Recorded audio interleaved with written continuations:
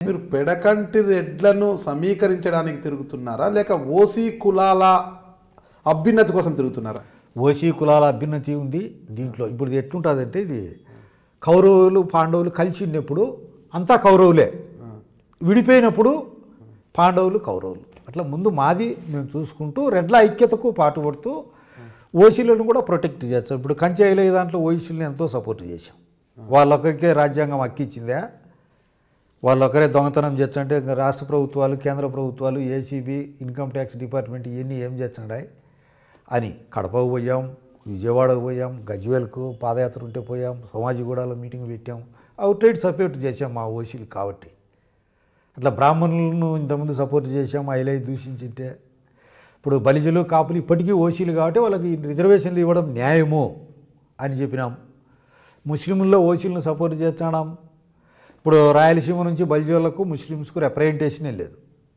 అందుకు దాని కారణంగా ఈయనకు కూడా చెప్పాం. నేను ఒక తానులో ముక్కనే నారాయణ స్వామికి కూడా. ఈయన కాపు కార్పొరేషన్ చైర్మన్ ఇవ్వండి. ఇవ్వాలా? అన్నీ బల్జోళ్ళు అంటే వాళ్ళు సర్కార్ బల్జోళ్ళు అన్నీ మే- మేసిపోయి అన్నీ ఓము వాళ్ళే. కాపు కార్పొరేషన్ వాళ్ళే అన్నీ వాళ్ళే బ- అన్నీ వాళ్ళే భుజానికి తగిలించుకొని బల్జోళ్ళంతా ఒకటి అంటే వాళ్ళు బిర్యానీ తింటే వీళ్ళు లబలబలాడుతుంటే ఎమ్మెల్యే సీట్లులే ఏమీలే ఒక సాయిబుకి ఈలే ఒక బల్జో కులస్తునికి ఈలే ఎట్లయితే అది ఐక్యత కాదు అది.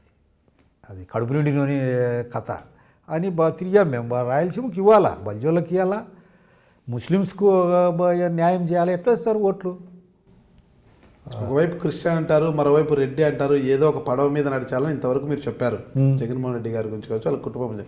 ఇప్పుడు మీరు వేటి కోసం పోరాటం చేస్తున్నారు? కాపులు అంటారు ముస్లిమ్స్ అంటారు ఎస్సీ ఎస్టీలు అంటారు బీసీలు అంటారు మళ్ళీ ఓసీ కులాలు అంటారు. ఇంతకీ మీరు ఎవరి వైపు పోతున్నారు? అసలు మీ విజన్ ఏంటి? ఇదంతా ఎందుకు చేస్తున్నారు? అన్నదైతే ఇదిమిత్తంగా కూడా తెలియడం లేదు కదా?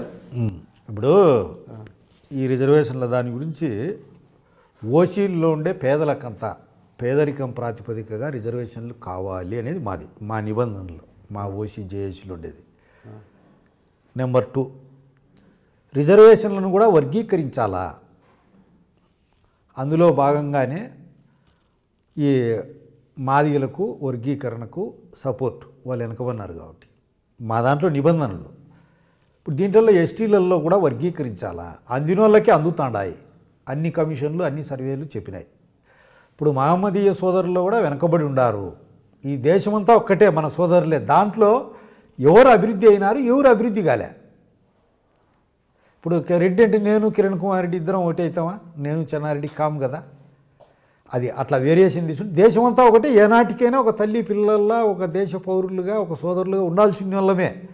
అంతవరకు ఆ అభివృద్ధి సామాజిక వర్గాలు కూడా తెగల వారీగా మీరు వర్గీకరించాలి అంటారు. వర్గీకరించాలి. తెగల వారీగా. అట్లా తీసుకుంటూ పోతే అట్లా తెగకు తెగకు రిజర్వేషన్ అంటే అప్పుడు ఎన్ని రిజర్వేషన్లు కావాలి? ఓ ఇంతకుముందు ఉన్నాయి సార్ బ్రిటిష్ వాళ్ళు ఇచ్చినారు కదా. మీరు ఇప్పుడు అస్పృశ్యత ప్రాతిపదికగా ఇచ్చినారు ఓకే దాన్ని ఎవరు తప్పులు పట్టరు. ఎందుకంటే వందల వేల సంవత్సరాలుగా వాళ్ళు కాలసర్పం లాంటి కుల వ్యవస్థ కాటుకు బలైనారు. ఆ రోజు కులము ఒకరిని అదల పాతాళానికి తీసుకుపోతే ఒకరిని పైకి హిమాలయ పర్వతాల స్టేజ్కి పోయి- తీసుకుపోయింది. అదే కులంలో ఏ రోజైతే ఆ రోజు చిన్న కులాలుగా ఉండి అస్పృశ్యత అంటరానితనం ఉందో ఆ కులాలలో కొందరు పెరిగి పెద్దయినారు. కొండల మాదిరి తయారైనారు. గీంకరించే మద కరీంద్రాల మాదిరి తయారైనారు. వాళ్ళు ఎవరిని దొక్కడం లే ఆ కులాల్లో ఉండే బీదలను మాత్రమే. అటువంటి వాళ్ళని మినహాయించండి. కలెక్టర్గా అయినోనికి మళ్ళా రిజర్వేషన్ ఎందుకు? ఒకసారి ఎమ్మెల్యే అవుతాడు మళ్ళా రిజర్వేషన్ ఇచ్చే ఒక ఎస్సీకి ఇవ్వచ్చు కదా. చూడు రాజకీయ పార్టీలకు కూడా నేను చెప్పేది అదే. దేశమంతా ఒకటే అయినా ఎవరు వెనకబడినారు? వాళ్ళని అభివృద్ధి చేసుకుంటూ రిజర్వేషన్లు లేని సమాజం వచ్చే వరకు ఇవి ఉండాల్సిందే. ఎవరి ఐడెంటిటీ వాళ్ళకు ఉండాలి.